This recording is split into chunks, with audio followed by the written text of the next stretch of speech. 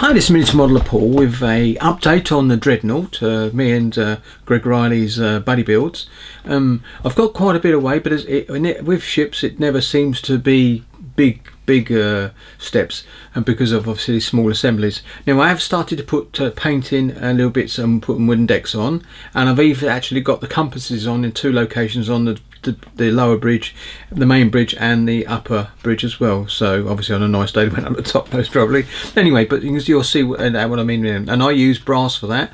I've got a book uh, of drawings and it looked all brass. And to be honest, when the ship was built, and it was in peacetime I suppose at the time, uh, there was a lot of polishing done on ships and of brass bits and pieces and, and uh, these would be brass but they may have been painted uh, during war period I don't know and then then cleaned back to brass. Who knows? But anyway but I like them looking brass. It gives a definition between the um, the actual greys and and, and, and it's very minute and all. You can you'll most probably only see the top one but you could be able to see the other one from the side. So anyway let, us go down to the, to the bench and have a look and uh, see how things go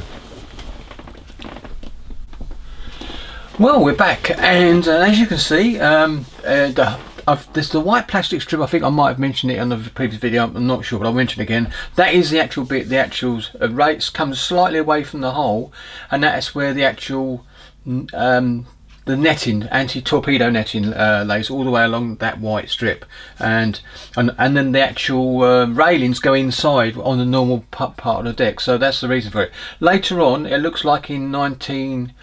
Um, for the 1980 version, they'd removed it because when I look in the photographs, I can't see it there at all. But you can see it on the earlier ones, so which is nice. Um, so that's there, and that won't be obviously staying like that. I've um, test fitted the deck there to make sure it all fits okay. So when I actually spray the the parts, that I can actually put the deck on. Now, the Nelsons learnt me a lesson, and uh, I watched uh, Harry Houdini's once, and he was using a bit of uh, wood glue, white glue, to actually put his deck down as well. And, and I, although I semi-glossed the uh, the deck, the plastic deck, it started to come up in some place. Not everywhere, just some place. So what I'm doing now is lifting up and putting some of this wood glue in place. So I'm I'm glad I've I've actually stopped building that for in that way uh, uh, because basically I can keep an eye on that now for a little while to make sure it doesn't come up again, and then I can start putting all those mushrooms right, mushrooms up uh, as um, um, as um, Ron Calvary talk calls them. So do those. So now here we go. I'm going to zoom in a bit more for the for the ship so you can see.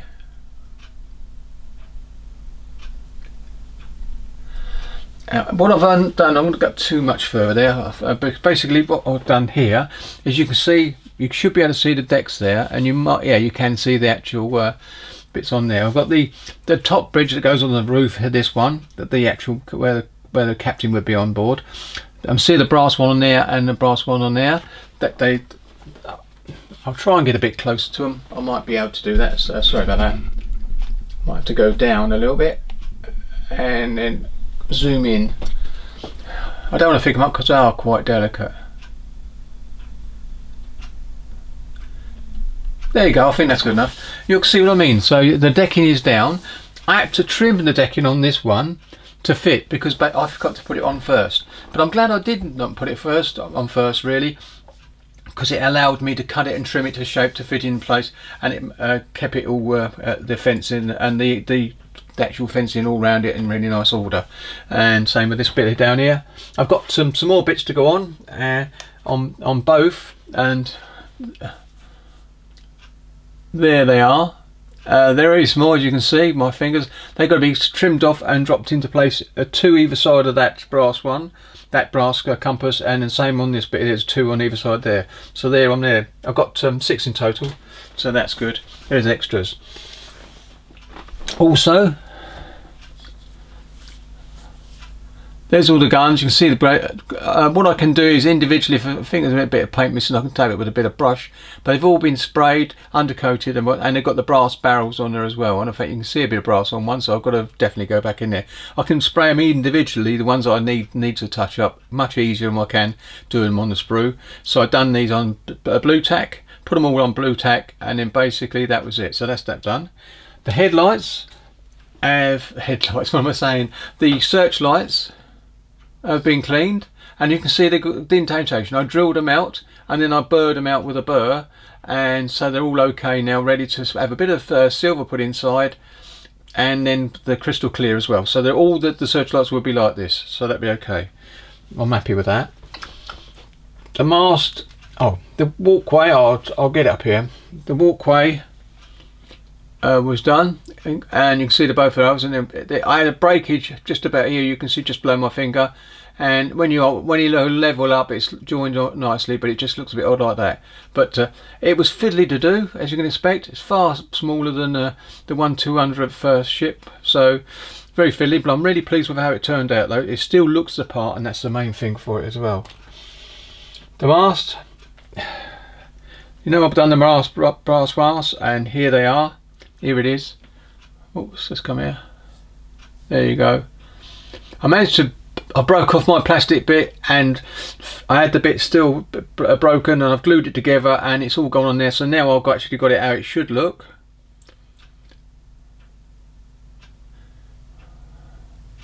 And there you go and have the roof put on later. I might spray in and then put the roof on or put the roof on and spray in afterwards. I might spray paint by brush inside there. So you can see there. So that was that one so I can't put it up there now. I've got to go careful. There you go. That goes back on there. So there's the detail parts. And now I'm going to go back up to the chimneys so you can see the, the funnels I should say. There you go. Sorry about the motor camera. I should stop it really. Be a bit more professional. But as you can see what I've done is I've done the, all the photo etch details on it but I also um, one of those has got a a move on this one. I'm going to move that back because uh, they, they do move you can just bend them back into position. But they've been done. But I changed the um, these the funnels if I take this one.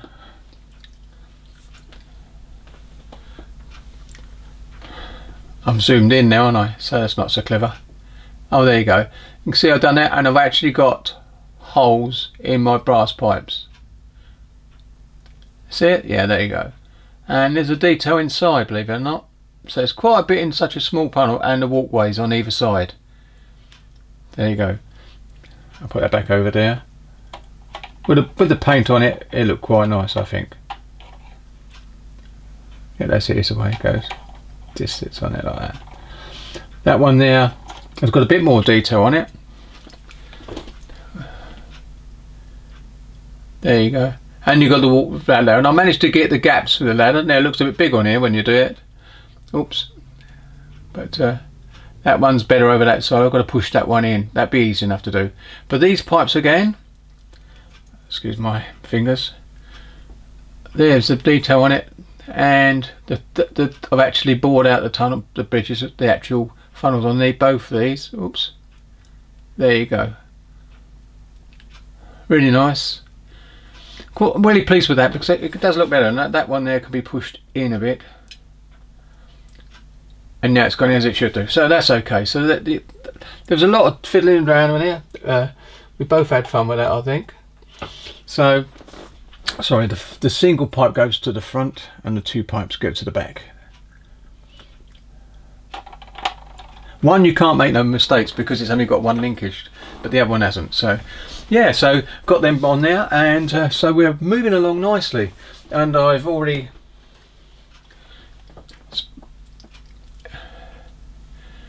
I've primed and sprayed these are the correct colour so when I cut them up I won't have to touch them up to actually put them on when we do the actual rains all around the ship.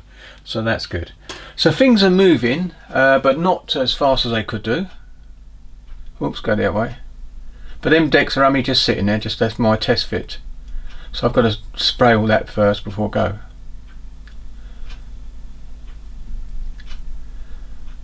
So there you go. So quite pleased as I said. Uh, things are moving along but not not so fast.